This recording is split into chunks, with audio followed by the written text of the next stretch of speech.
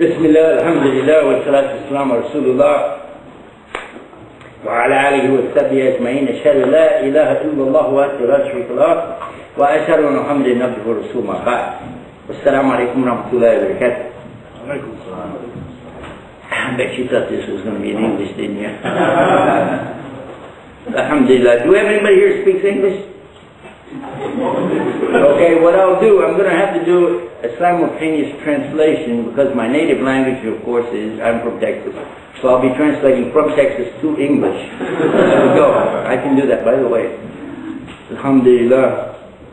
The praise is to Allah, and we thank Him for the opportunity to be here. And we always ask for the peace and blessings to be upon all of His prophets, from Adam to Muhammad wasallam and for all of those who follow the righteous way till the last day. Then usually we make the statement of Shadu La ilaha illallah, which means I bear witness that there really is only one God to worship, and all worship is for Him exclusively. And we bear witness to the messengership of Muhammad, and as such to the previous messengers before him. And that, of course, is going to lead us right into our topic tonight, which is the messengership of Jesus the Christ uh, from the Islamic perspective, of course. As we go along, I want you to remember that you came here to get another perspective. So this should be different from what you know. This is the whole idea. So, um, but in, still there will be things, there questions, ideas, concepts that come to your mind that you would like clarification on. So this is why they're going to circulate amongst you and hand out to you some paper, just in case you weren't prepared. We are, hopefully. And also pens if you don't have pens. And then if you don't know how to write, we'll get a secretary for you and we'll get your questions and your responses as much as we can before the program's over so that when we end the program we'll be able to then go into instantly answering the, the, questions you have. In the case that we're not able to handle all of them uh, regarding time, because that happens, we do have a website that you can go to to pick up a lot of information there. Actually, a series of websites. And then, in addition to that, we have a place that you can ask questions called Ask Islam at AOL.com.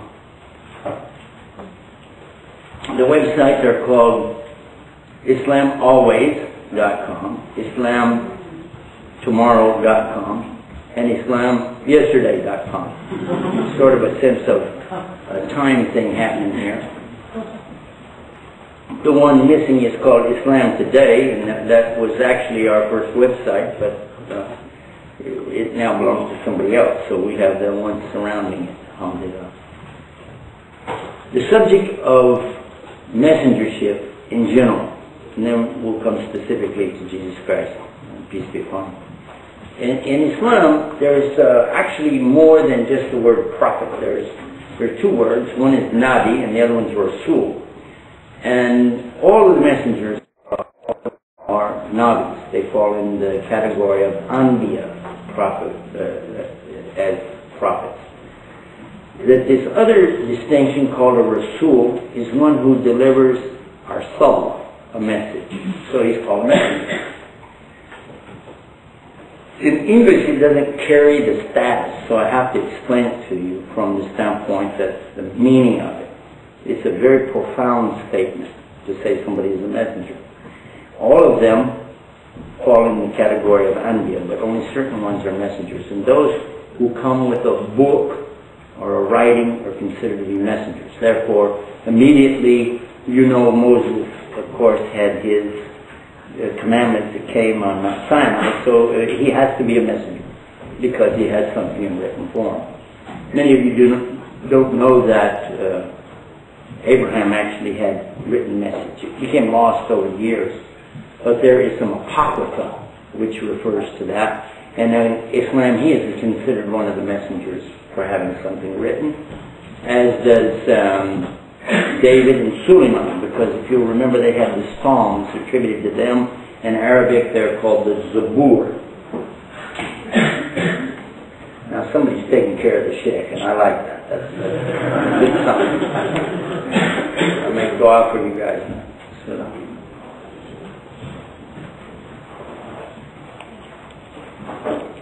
Some of what I'm going to tell you is uh, known to you already. Some of it I'm going to talk to you about is going to be known to the Muslims. But some of the things I'll talk about tonight, even some of the Muslims won't really be conversant in that, and they'll be surprised. They'll learn something, hopefully. Some of what I'm going to share with you will be um, where we're alike. We have a commonality. Some things you, you'll do more like a comparison, and some things may seem strange to you. But that's the whole idea, and I hope you enjoy the program. I do a lot of etymology, as a matter of fact. Uh, um, if I were to hang a sign out in front of my office, it would say etymologist at large. Now, how many of you know what that word means? All right, this is my kind of university. of course, it means I'm a pet doctor. Anyway, it's the study of words. It's to take the word and break it down to see where it came so that we get a better understanding from. The word here, as we broke down, was Arsallah, and one who has a message is a Rasul and so that is, of course, what we were talking about first. Now we come to the next prophet after David and Suleiman with their Zabur or Psalms is going to be Jesus, the Christ. Peace and blessing be upon him. And then we'll see what is his status according to Islam. According to Islam, we, we have information that says that he has a book. He actually has a book, therefore he is a full messenger. He's a prophet and messenger. This means that uh, he had something that was with him physically. That's a book. It doesn't exist today anymore in its original form, but there's a lot of reference to it. And of course, the Christians immediately know it as the gospel. That's what you will call it probably is the gospel. Or you may call it by its name, the Injil or the Evangel. If you know it in the English version, it's called Evangel. And in Arabic, Injil. Now, do we have any Arab Christians with us tonight? Anybody here is a, a, a Christian Arab? Uh, how about this? Anybody know any Arab Christians? Okay. They have a Bible in their language called it, it's, it's called Kitab al-Muqtas. Muqaddas or, or it means holy. The holy kitab or book. And you say holy book, in Arabic, just like you say Holy Bible. Bible is from Koine Greek and it means from Biblios, it means book. It's simple as that. The word Bible doesn't appear in the Bible. It doesn't appear there. But it appears in the Quran many times. In fact, people who follow the Bible or book are called kitab, people of the book. And the word kitab in Arabic means book. So Jesus, peace be upon him, is sent with a kitab or a book. He's therefore a full prophet and a full messenger of God to a Muslim. What we know about him as Muslims, he fulfills the scripture, the Holy Scripture, since the time of Abraham and Moses and David and Solomon. And this scripture is teaching that there will be one who will come and he will be of a miracle birth, and he will be a messenger to the people, and he will be in the last days. Now, pay close attention to this because you'll find that this exactly fits Jesus the Christ. Peace be upon him. First of all, he already came, but he's gone, right? But the Muslims believe he's going to come back. They have no doubt about this. Muslims believe Jesus the Christ will return in the last days. Therefore, he fulfills the scripture that he's coming, he's a miracle birth, he preaches a message, and he's also in the last day. Yet Muhammad, peace be upon him, still fits in there as a prophet and a messenger because he did what? He testified to the messenger before him and all of them before, and he also mentioned that Jesus would be back. So there's plenty of room here for everybody. Okay, make sense? Everybody with me so far? The problem that the Jewish have with Jesus okay, is that they don't want to accept a number of things. First of all, they don't want to accept that he is the miracle birth. They don't want to accept that the, the Immaculate Conception. They don't want to accept that he is the prophet. They don't want to accept that he is the Christ or the Messiah. And they don't want to accept that, you know, that he, he did miracles, nor do they want to accept that he's going to come back in the last day. They're only looking for the Messiah to come in the last day, period. That's it. They don't believe that the Advent has taken place yet. For the Muslim, they say, no, he did come. He had a miracle birth. He was born to Mary. There was no human intervention there. It's Immaculate Conception. Jesus, peace be upon him, is born. And one of the first miracles is that he actually spoke as a newborn baby and defended his mother against the charges that they brought against her for having an affair or something, you know, and, and he, instead of her defending herself, the baby spoke and startled the people very much. I mean, you know, a, a little baby speaking would uh, shock anybody.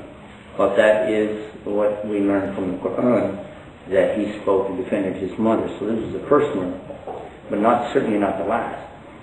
People being cured of diseases, skin diseases, etc. People who were lame, crippled, and so on, being able to walk again.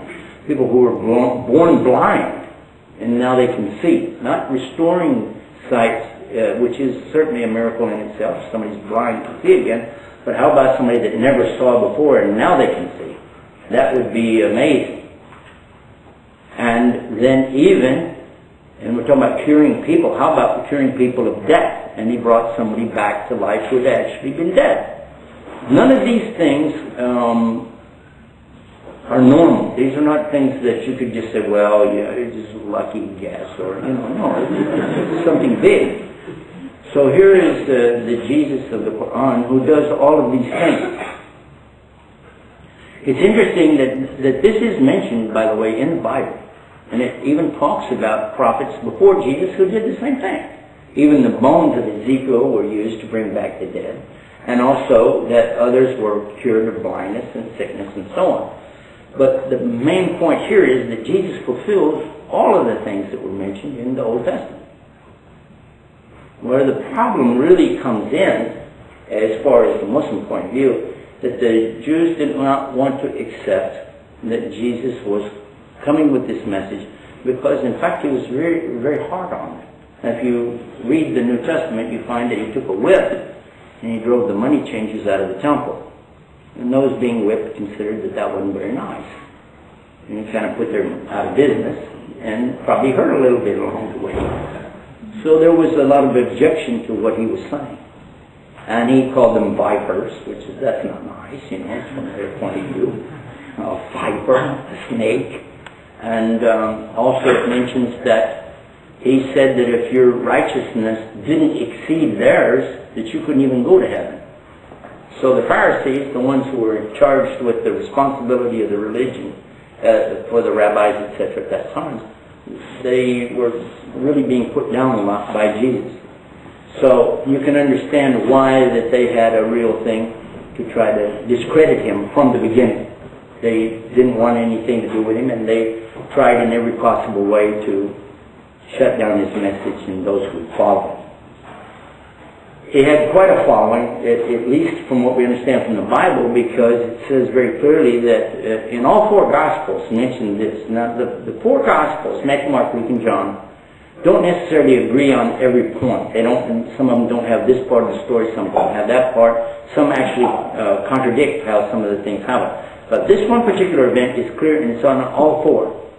All four Gospels talk about the what we call uh Palm Sunday Everybody know what I'm talking about, Palm Sunday, when they laid down the, the palms as he entered, the palm uh, leaves, or, uh, you know, the big things that they laid on the street, and then he rode in on the donkey. And uh, they were laying him down, and the saying says, Hosanna, Hosanna, Hosanna, and then he comes in on the donkey. All four of them speak about this stuff. So, it looks like he was well received on that Sunday. And Passover is coming up on the next um, Saturday because that was the feast of the Passover, remember? And at Friday, when the sun goes down, they have to shut down everything and they can't do anything till the sun goes down on Saturday. So of course, we know he was put on the cross on Friday, and they had to get him off of the cross on Friday before the sun went down, because otherwise they wouldn't be able to bury him. Or actually, they didn't bury him; they put him in the sepulchre. But the point here is, what happened Sunday? I mean, everybody's going for it, but what happened by Wednesday night or Thursday night, and you know when everything fell apart? Have you ever wondered about that? How could everybody be for you on Sunday and by Thursday they're ready to hang you? What happened? And that's a good question. You can look to some of the Apocrypha and you can look to some of the, the recent archaeological finds of some of the texts and try to discover, as I have spent a lot of time with that, and uh, will be very candid in telling you that I don't think I found anything out that anybody didn't find before me or after. You can go to Barnes and Noble and buy the books and probably find a better dissertation on the subject than I came up with anyway. But the point was that they all agreed that there's a lot more out there than what we really have today in, in the King James Version of the Bible. So that means that I need to speak about the book a little bit, the Bible as, as you know it today in English, just to give clarification. The English language didn't exist until the uh, Saxons invaded the, the, Ang- the Anglican and uh, I mean the England, and when they went in, uh, the Normans invaded go get the story straight. That was in 1066 AD. And after that came what we call the English language. What we're speaking today is a derivative of 950 years of daily changing a language. Prior to 950 years ago, it didn't exist. So that means that none of the revelations that we're speaking about today were actually in English language. So it would be impossible. That there is not, a, there isn't any way that it could be in the English language. So therefore, anything you read in English is a translation of something. You have to understand that. And uh, the oldest manuscripts that we have from the Jewish text, and we're talking now about the Old Testament, are actually extant today, are not as old as some of the texts that we have. We have a lot more stuff available, believe it or not, from the New Testament than we do the Old Testament. Did you know that? There's just a whole lot more out there since 2,000 years ago than there is before 2,000 years ago with the exception of the Dead Sea Scrolls, and there's a huge question mark on them because there was a big effort to try to make sure everybody would accept these scrolls as being older than 2,000 years ago. Because if they're newer than 2,000 years ago, they got a serious problem. Because nowhere in there did they refer to Jesus and the miracles of the of the ascension or of the cross or anything else. So it means they have to predate that. Otherwise, you've got a problem with uh, your particular denomination, what you're trying to preach, because it won't be there. Now, do we have any Bible students here? Anybody who's been through seminary school or know anything about it? First, even first semester. Anybody? Okay. Everybody heard, you know the Gospels, right? Okay, the first three are called synoptic. And then the John Gospel stands alone. After that follows, I think something between 12 or 16, depending on who you think wrote them, books are attributed actually to Paul. The majority of the New Testament really, um, I'm talking about books, is going to rest on Paul. So if Paul is not credible, and that's just a, a statement of hypothetically, then you would have, you would be missing over half the New Testament. And if it is credible, then you've got a problem with a lot of the Gospels because they don't match. And I'll give you just one example of that so you can think about it. In what we have of the New Testament, and you can find several online, go to Gateway Bible. They've got a lot of research there that you can do in the different versions of the Bible. If you'd like to read it, is the uh, NIV, the KJV, or the Revised Standard, or I think they have about six or eight more on top of that. Any of these different versions, and look for yourself you'll find the words are pretty similar to what I'm going to tell you right now. This is Matthew 5, 17 through 20, approximately. It says there that Jesus told his followers, Think not that I came to destroy the law and the prophets. I came not to destroy, but rather to fulfill. And not until all things are accomplished shall a single jot or a dot or a tittle or an iota, now that's going to depend on which translation you have, of the law be in any wise lessened. Whoever breaks the least commandment and teaches this, he'll be the least in the kingdom. But whoever keeps the commandments and teaches this, he'll be the highest in the kingdom. And unless your righteousness exceeds that of the Pharisees, you will not enter paradise. How many of you are familiar with that passage? Anybody? That I get pretty close? I tried. What happened, I read too many different versions of it now, and I'm not sure when I get to this, say this or this or that. The point here is it seems that the law, because the law here is going to be from the word Torah. Torah or Torat, and it means the Old Testament. It's talking about Old Testament laws, speaking about the laws that come, if you're familiar with the Old Testament, Leviticus and Deuteronomy. That's where you're going to find a lot of the laws that are going to be laid out there. And of course, Exodus is going to talk to you about, the, in chapter 20, about the Ten Commandments. Those laws are not just ten, there are actually hundreds. Hundreds and hundreds and hundreds and hundreds of laws that are spelled out. So when he says that not even a single one is going to be in any wise lessened or taken away from, then this is something important. When he tells you whoever breaks even one of those and teaches that it's okay to do that, that this person is the least in the next life, that's pretty serious. Especially now we'll move to uh, my friend Paul and see what happens. He tells that he had a blinding light experience. That blinding light experience is mentioned uh, three times in a book called the Acts of the Apostles. When he tells it the first time, he's talking about having an experience that only he is privileged to, that other people don't hear it, they don't see it. And then he's deaf, or actually blind. That he's not deaf, he's blind. And he has to be taken into the city at Damascus, uh, Damascus Damascus, it's called in Arabic, and he has, which is in Iraq, by the way, and he has to go there and he has to learn from somebody to get this whole message. But the next time he tells the story, it's a little different. Now, all of a sudden, people can hear, but they don't see. But in the last time he tells the story, when he's talking to King Agrippa and to Festus, in this case, he's trying to convert them, and they even say even that something about you almost make us convert to your, to your religion or some words to this effect. And, uh, or would you have us convert, something like that. In any case, this time though, he says that everybody heard it, everybody saw it, and he even says they all fell down.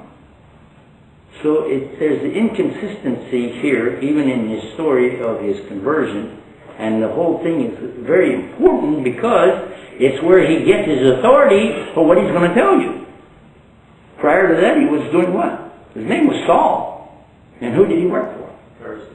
He wasn't Pharisee. He was exactly what the verse that I mentioned to you is talking about. And now I'm going, and I'm taking some. You may wonder where am I getting all this stuff from, right? I'm actually taking it from Hyam Maccoby's work. So you know, if you've ever read any of his stuff, he talks about the myth of the God incarnate and things like this. It's a very interesting work. But what we find is that Paul actually did break commandments and teach people that it was okay. And that's why you hear a lot of people today will say that, you know, if you said, well, it's forbidden to eat pork. It's clearly a forbidden thing to eat pork. It says it in the Old Testament. How can you be a follower of the Old Testament and you eat pork? Well, the answer comes that, well, that's the Old Testament. This is the New Testament. New Testament. And I've even heard some people say it cancels the Old Testament. If it does, then you don't even need it anymore. Just throw it away. But without the Old Testament, then you don't have the credentials for Jesus. So you do have to keep it attached. So it becomes a bit of a paradox. How, you, how are you going to deal with this subject? Well, in any case, we're going to come back to our main subject here after I just give you one more example. Paul told the people when it came to the subject of circumcision, which is something the Jews have to do when a boy is so many days old. They have a little ceremony they do, and they remove the foreflesh from his private part, and this is something everybody knows the Jews do that. But did you know that the Muslims also do the same thing? They do. And they have the same commandment. What happened to the Christians? Well, it's clear in Paul's writing, he said that circumcision is of the heart. Just the heart. So he got out of it that way. But it doesn't really have a good comparison if you want to approach it just from an outside, say an atheist will look at that. By the way, do we have any atheists with us today? Somebody really could care less about religion? Atheists? Okay. So you can approach it from the from a standpoint of, well, I don't have an investment in any of these religions, so let me take a look at what you're talking about. So when we talk about circumcision, it was only for boys, it wasn't for girls. So it was a law for men. So if it became general and it was only of the heart, then how would you deal with the, does that mean women also have to circumcise their hearts? Or how come they didn't have to do anything about anything before that? So it becomes a, a, a little bit of a question here. Why does this, what is the effect here? Also, when we take it to another level, when Paul says regarding all law, now remember, we just quoted a verse that said if you break even one commandment, and also said that he came not to destroy the law, but to fulfill the law. Yet Paul said, because of the law, I sinned. If it wasn't for the law, I wouldn't sin. Therefore, I'm dead to the law, and the law is dead to me. Anybody ever read that? Am I right or wrong? I'm not trying to tell you to make a conclusion based on what I said. I'm just saying that those are statements that are there. So from my perspective, and this is just for me to tell you, because maybe you're wondering how could somebody be a preacher and then all of a sudden they're talking about Islam?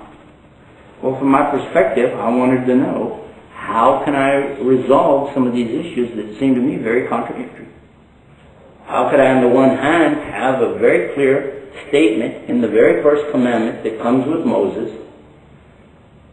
God is one, and you have to worship Him with no partners. This is the first statement.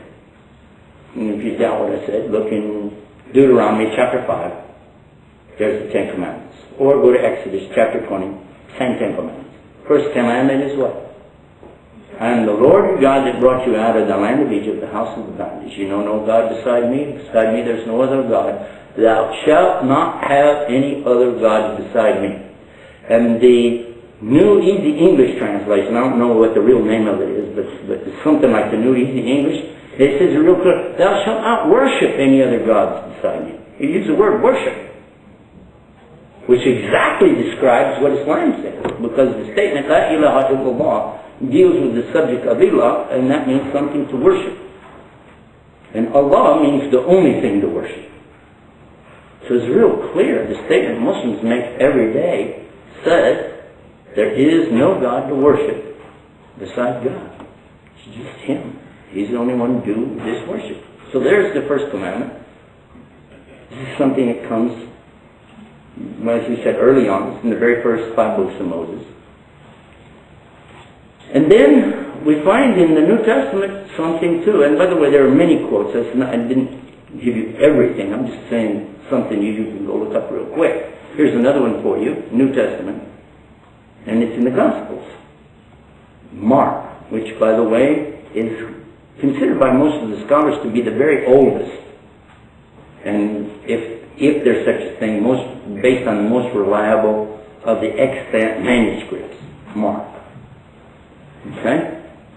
In Mark chapter 12, verse 29.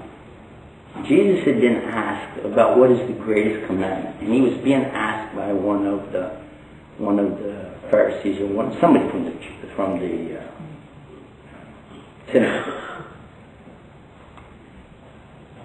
and he says to them, "To know, O Israel, that the Lord thy God is one God, and that you have to worship Him with all your heart and all your mind and all your soul. And he says, I give you a second commandment like it, that you have to love your brother as yourself. Everybody familiar with that? Anybody ever heard it? Something like this? I got pretty close. Now, this statement again matches exactly the Old Testament because the, it's not a new commandment that Jesus gave them about loving their brother because that's also in the books of Moses. The same thing about loving your brother. The Jews take that, by the way, to mean only somebody of Jewish blood falls in that category. That's why it's forbidden, by the way, for them to deal in interest with each other. With each other. Well, it's not forbidden for them to deal in interest with non-Jews. Muslims are forbidden to deal in interest, period, regardless. There isn't any kind of an exclusion there that you can sneak around the corner. Just so that you can make a comparison so that you can see and sum it up now, Jesus to us as Muslims is the fulfillment of the scripture. He is miracle birth. He had no father. He was a prophet and a messenger, which there is a distinction to us. He had a book. He is with God. He was raised up by God. He's with God now. And he will come back, just as he left, alive, at the same age that he was when he left. And he will lead the true believers to victory over disbelief and over evil in this world. This is the belief of the Muslim. It's mentioned in the Quran, except for the last part which I mentioned about his return. This is implied by one of the statements in the Quran, but it doesn't say it in clear text. Where we have the clear text is from the prophecies of Muhammad, peace be upon him, stating unequivocally that Jesus will return. Many of his teachings he talked about it even mentioned where he would come back in Syria, where he would land, and what was going to happen on that particular day, and some of the other events that will be taking place at that time. Historical events that some have already just recently taken place. So for the Muslims, we're looking for Jesus at any moment. Any moment. Some of the Christians also have an idea that that's real close.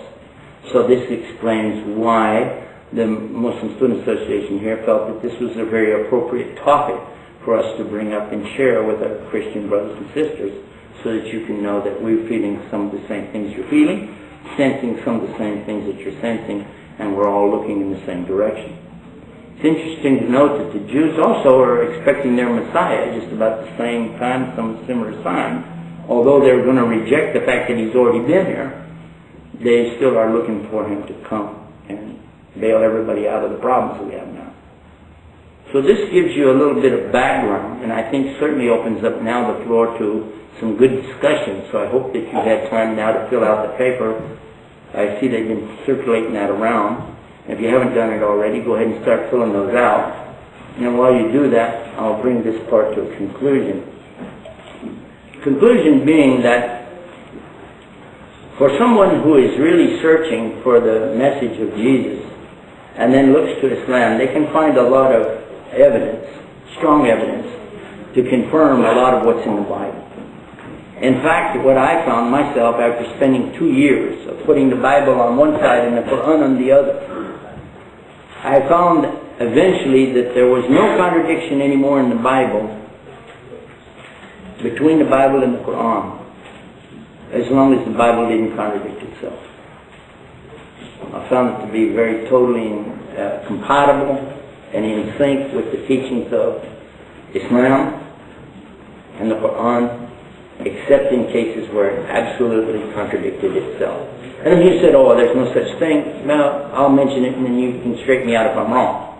I'm going to quote to you from a holy book without mentioning the name of it.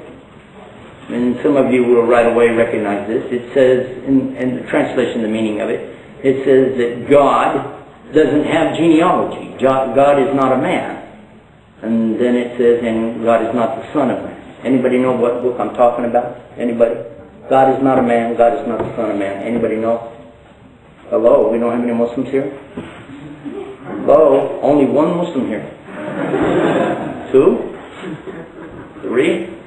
I'm Not married men terrorists come out tonight. I mean, Muslims out.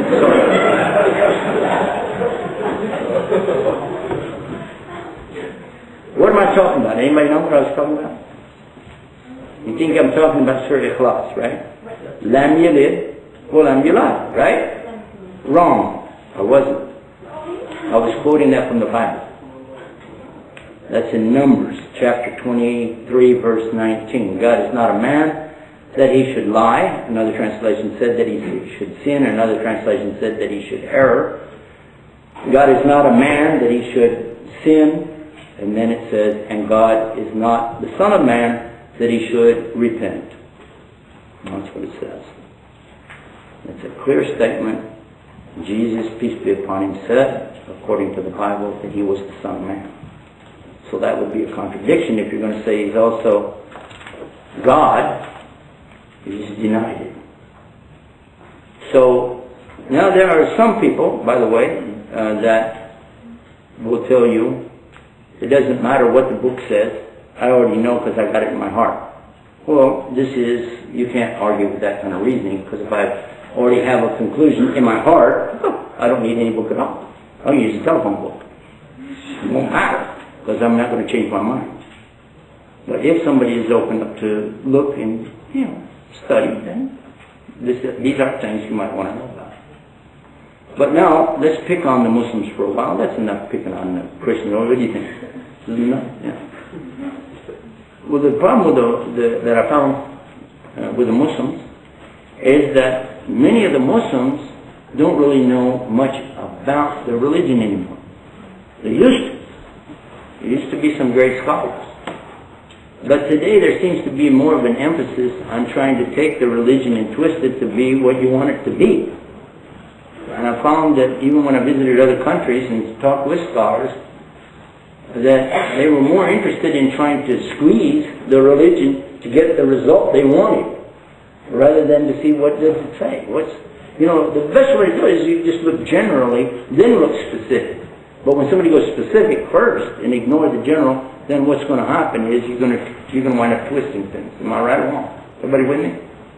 And so, for instance, I'll give you a good example. I mentioned about dealing in interest or riba, as it's called in Arabic. I just remembered I don't have my glasses with me. Hmm. That was not cool. you need somebody to read that? Pull your chair up over here.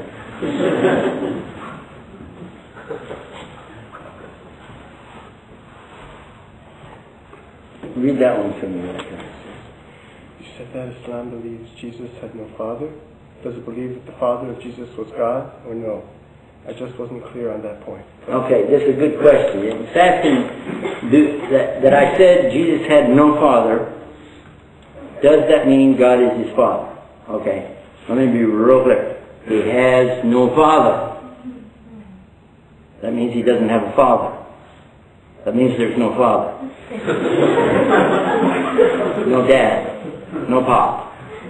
No paternal relative. How we doing? So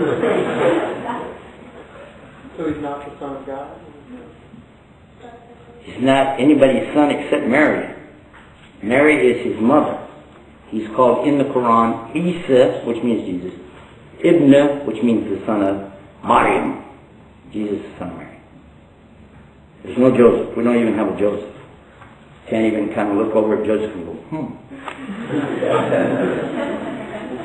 How many of you ever read the Matthew, first chapter? Anybody ever read it? First chapter. All right? You sure? Test. Ready? What's the first words? it's question. And I doubt that anybody's going to tell me. You know why? It's boring. This is the genealogy of Jesus the Christ. That's what it says. Genealogy means what? Lineage. Lineage. Yeah, exactly.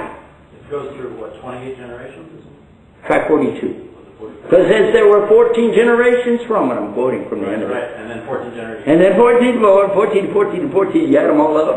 42. Count the names, 43. Oops. That's okay.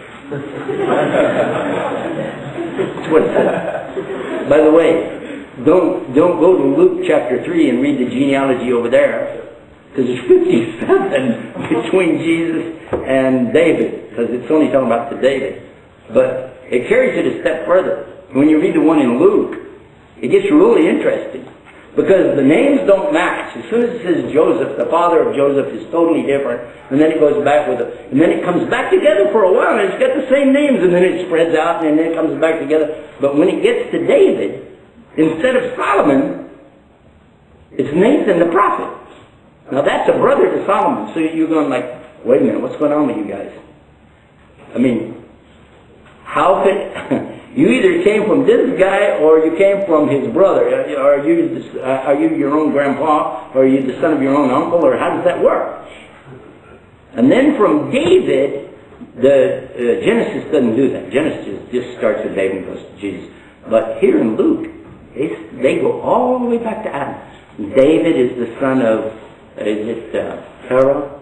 And then back, back, back, back like this, all the way. And then it says Enos is the son of Seth. And Seth is the son of Adam, and Adam is the son of God. That's what it says. Did Adam have a father? Did he have a mother? Why did it say he's the son of God? It's a phrase, isn't it? It's like a like he's this he's the creation of God. Does that make sense? So, if somebody said we should worship Jesus because he had no father, well, that's interesting. Let's bring that as a subject.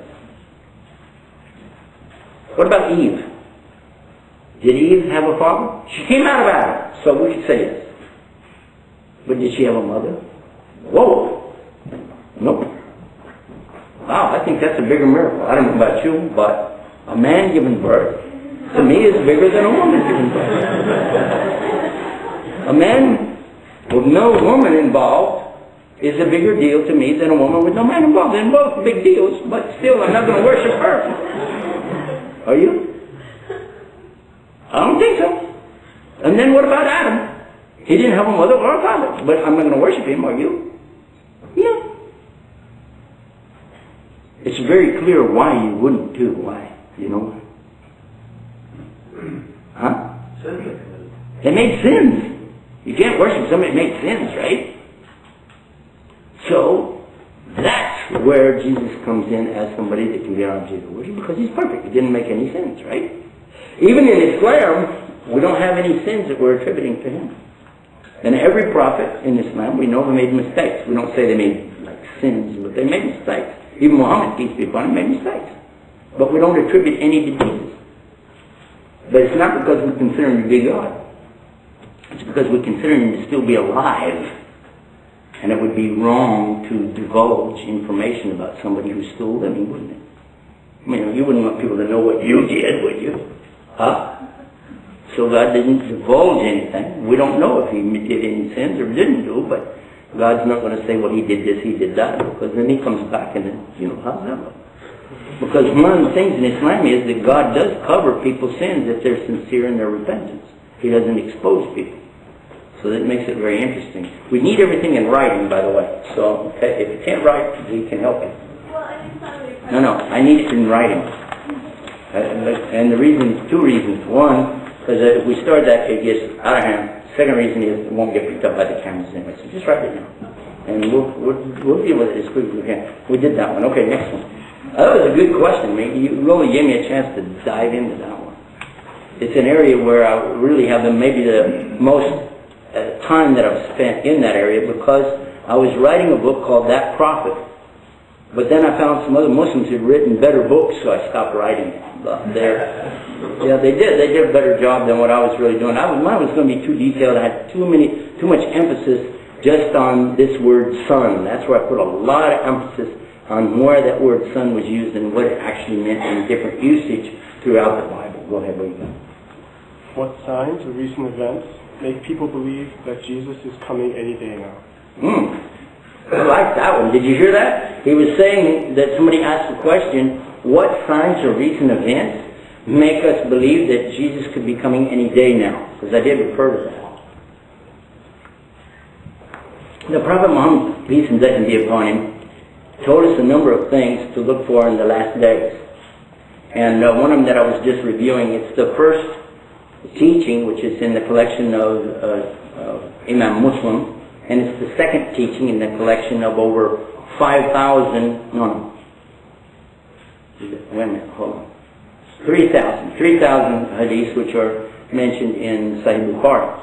So there, this is right up front. It's like almost the number one thing.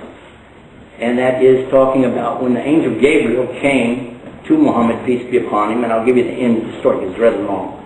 And he asked him, he said, the angel is asking Muhammad in front of the people to get the answer out of him, because the angel doesn't need to ask him anything. But he's asking so that people will hear this information. And he asked him, when is going to be the hour? Means when's the last day? And the Prophet, peace be upon him, he said, the one being asked doesn't know any more than the one asking. I don't know and you don't know. But the signs are these. And he mentioned two of the signs in that particular teaching. There are many others, but I'll mention these two. One is that the slave will give birth to her own master. And the other one is that when you see the barefoot, destitute, uh, or poor uh, goat herders of the desert, meaning the Arabs, competing with each other to build magnificent edifices in the desert. Okay, I'll come back to that. I want to go back to the lady giving birth to her own master. And we're not allowed as Muslims to say that this actually means this or that means that. We can say you could look at it and think for yourself what it means. Because we're not supposed to try to predict anything, not even what the rain is going to be tomorrow, or snow, or anything else. It's, these are things known to God, and you say God knows, but could be this. But have you noticed, and I have because at my age, I'm 61 years old this month, alhamdulillah, and I have a good memory of what, what it was like when I was a child. It was great. This was a great, wonderful country. You have no idea what it was like. We used to leave our keys in the car so that people could move it. That we didn't worry about parking fines. We didn't have that. People could move their car if they need to go where you were. And if they want to clean the street, like today in New York, they'll tow your car. In those days, you could just move your car to the other side and do whatever they need to do. And nobody would steal your car. That would be unthinkable to steal somebody's car. And leave your house open, because while you're away, maybe somebody needed to go inside, maybe it would rain or something. Mother used to make up food and put it on the back windowsill, and people could come by and take it, because there were poor people didn't have any food, they could just take it. Or they could knock on the door and say we're hungry, and yeah, it was common. It was very, very common that you would give food, or anybody wants a ride, they could just stick up their thumb and you would stop, give them a ride, take them someplace. And even if it was out of your way, you would just do that. That was common. That was the decent thing to do. People were very religious. And I mean that not from the sense that they ran around with their Bible trying to convert people, but they actually acted like what the teaching of religion is about. People were kind, courteous, and we were taught real early. If you can't say something nice, don't say anything at all. And this is the teaching in Islam. Man kana yu'minu billah wal yawm al-akhir yaqulu khayr aw yasmut. Let the one who believes in Allah on the last day either say good or shut up. That's Texas translation. but it was a great, wonderful place. It was very strange if anybody cheated somebody. There were cheaters out there, but they were strange. And we used to talk about them like, you know, wow, that's a bad person. And if somebody went to jail, it was like the end of the world. You, you, you just forget it. Somebody had a, a criminal record. And if a girl had an affair with a boy, that was it. Forget that person. She's, she's history. This is terrible. And people would say, the Bible says, why are you doing that? That's one of the commandments. You can't do that. You can go to hell. And today people go, ha ha ha, how many girlfriends do you have? How many boyfriends do you have? And even today, you know, how many boyfriends and girlfriends do you have? In San Francisco, anyway. no, just, I mean, you know, you see what's on TV, right? Now I want to, now I want to come to the point about this slave giving birth to the master. No child that I knew, and I knew some kids, you know, pretty mouthy to each other, but I never saw a child talk back to their parents. Never. Even as I grew older and I saw a child speak back to a teacher one time, the whole room went, and we were waiting for lightning to strike the place because the child spoke back to the teacher. It wasn't long before lightning struck his pants because he got wet. And they used to do that in class, you know. They had the teachers had a paddle, and it was different sizes depending on the teacher, what, how big they had, you know, and just bend you over the desk and whack away, you know. Then all of a sudden they said you can't do that to kids anymore. But the Bible said, spare the rod and spoil the child. The Bible's right. Whenever there's no corporal punishment, when there is no uh, enforcement behind what you say, what are you going to do? Talk the kid to death? I mean, people try to do that. You know? Well, you shouldn't do that. Don't do that. Oh, you don't really want to do that, do you? Please don't break that. Oh, darn.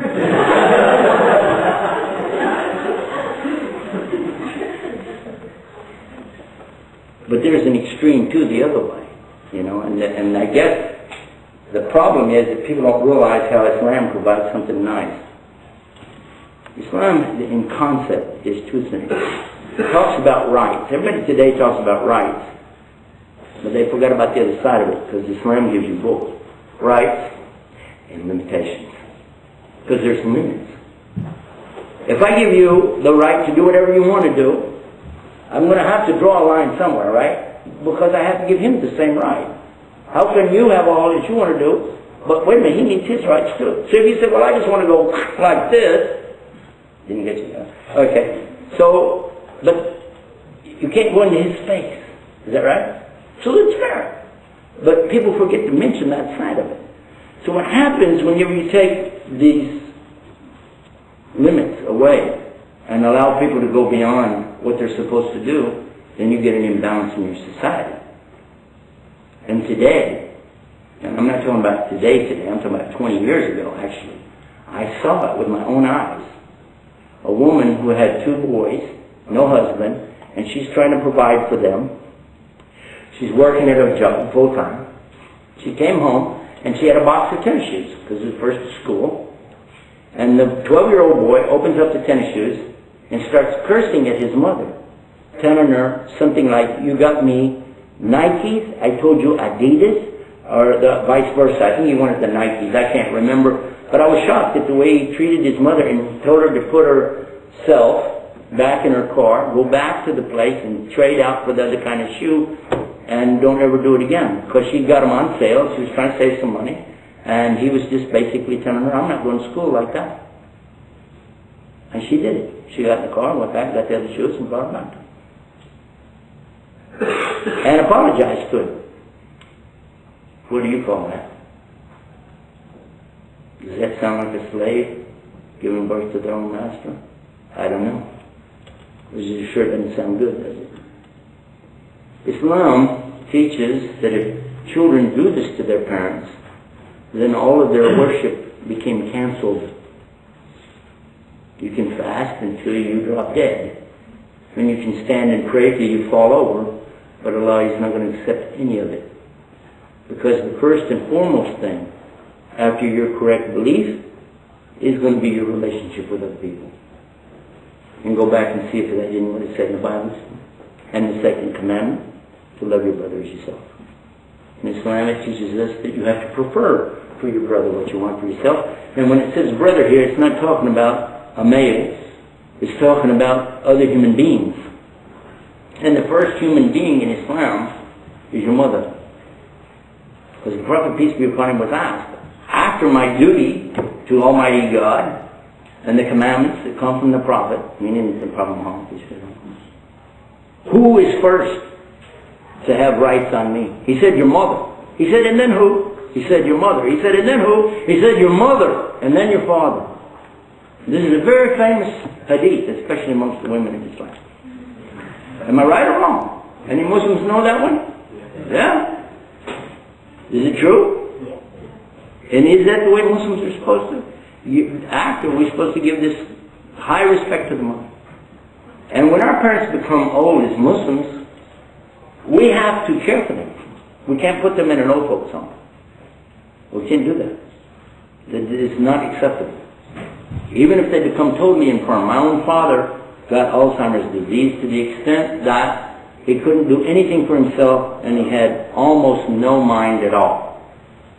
And the people that would come to the house, that, uh, you know, because the state sends somebody out every so many days, and they don't charge us for that. And we appreciated it. We liked it because they would come out and tell us tips and things that care for him.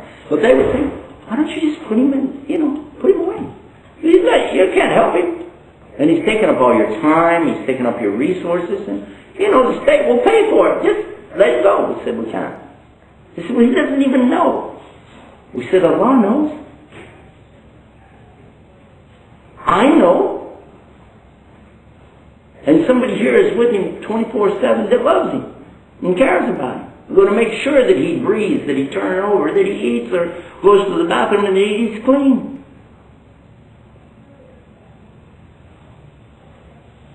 And when he died, he died right there with my daughter right there beside him. And she heard his last breath. So there's no way that we have to have a second thought about if I would have been there this or if I could have done so and so or no. This, this is how it should be. So when you see the children treating their parents like like this is the slave for me, telling the parent what to do, just remember that. Now the second part of it.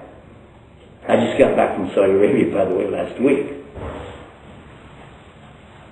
You can't believe the number of buildings and the beauty, the majesty of some of these uh, buildings. The architecture is out of this world. And the height of these buildings would, would scare you. In a desert, I'm from Texas, where land used to be pretty cheap, okay? So we have what we call ranch style houses. You build out. You never build up. Why? Because it costs more money to build up.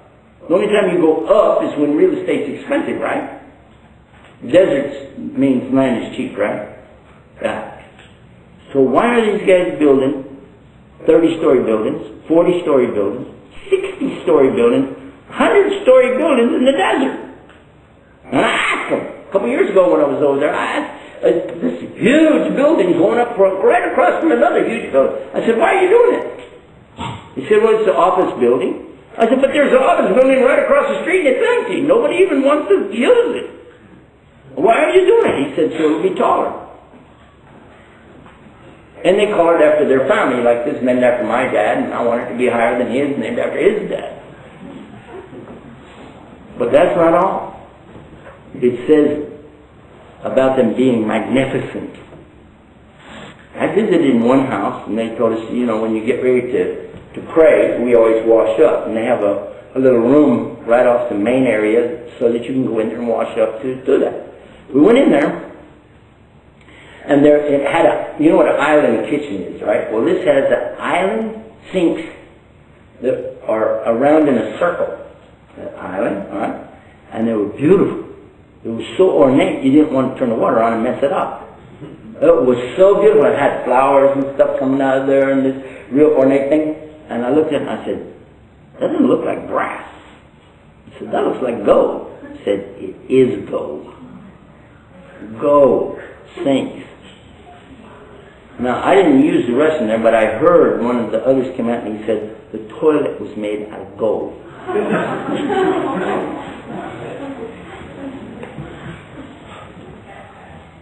I don't need to say anything there. The joke's already there, right? that joke's there. Hello. That, that is that, I mean, to me that's a sign. That's a sign of some horrible waste, tremendous waste, to consider that anybody would do something like that. And that's exactly what was predicted 1400 years ago. And keep in mind, up until 60 years ago, those people were barefoot goat herders. And I'm not exaggerating. We have a brother with us from Egypt. He will tell you that when he was a little boy, he can remember his grandfather talking about they used to send all their charity over to Saudi Arabia because if they didn't, they would have starved to death. Am I right or wrong? How many years did Egypt support Saudi Arabia? A thousand years, something like that? Well, I attended at least, at least 15, 20 for every year at the time of Hajj.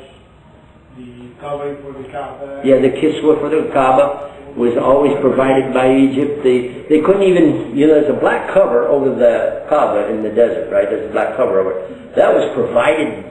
They couldn't even come up with enough money to buy a cover for it. It came from Egypt. And now they have a gold door for it, by the way. So how could somebody have predicted by accident that there would be such wealth, opulence there that uh, people could do things like that? So this is one of the, the areas of the sign. Some of the other ones I'll go quickly through these. He told us that when the signs come, it will be like when you break a string of pearls, how quickly they run off. Have you ever broken any beads? Try to stop the things from running off. You can't. They're just going to they're going to be gone that quick. And one of the things he told us that in the last days you would see that um, evil would be prevalent everywhere. So evil, and especially farash, which is uh, how can I say this? Um, adultery, illegal sex would be so common that everybody's involved in this. This common, and we're seeing that today. There's no big deal. Turn on Jerry Springer, you feel like an idiot if you don't do something weird. Is that right?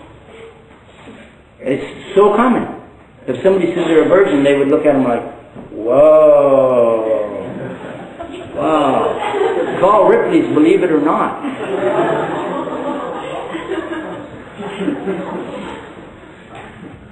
Right or wrong?